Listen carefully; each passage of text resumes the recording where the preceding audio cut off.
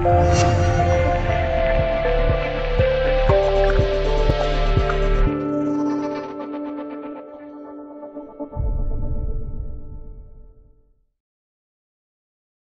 围美墨边境的民兵报道认为，在对即将入境的非法移民的态度方面，美国民众内部存在分歧。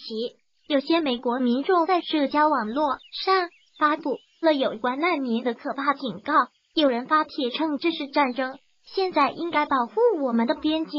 也有民众声称，这些非法移民不应被允许越过边界来欺负我们。强大的边界才意味着一个安全的国家。居住在美国俄勒冈州的莫妮卡·马林表示，他已经在网上筹集了约四千美元的资金，为自发组织的民兵购买物资。他认为这些非法移民很危险。我看到了那些年轻的、正处于异龄的非法移民，他们看起来并不像正在挨饿的样子，而是似乎已经准备好进行战斗。马林不无忧虑地说：“不过。”在紧邻墨西哥的美国亚利桑那州的阿里瓦卡，在最近几周，当地居民已经发布警告，称为阻止非法移民而来的民兵在这里并不受到欢迎。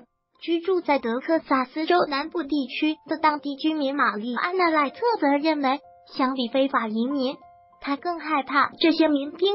民兵的到来会使事情以糟糕的方式结束。莱特预测称，报道称，目前。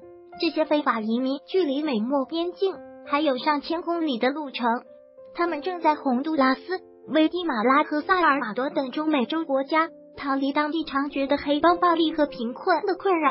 在美墨边境活动的民兵组织已经在这条边界上巡逻了十多年，以观察和阻止非法移民入境。报道认为，美国总统特朗普将非法移民问题视为中期选举的核心议题之一。他呼吁将美军部队派往边界地区。据美国军事时报网站报道，目前已经有约两千一百至四千名国民警卫队官兵准备被派往美墨边境，以阻止非法移民入境。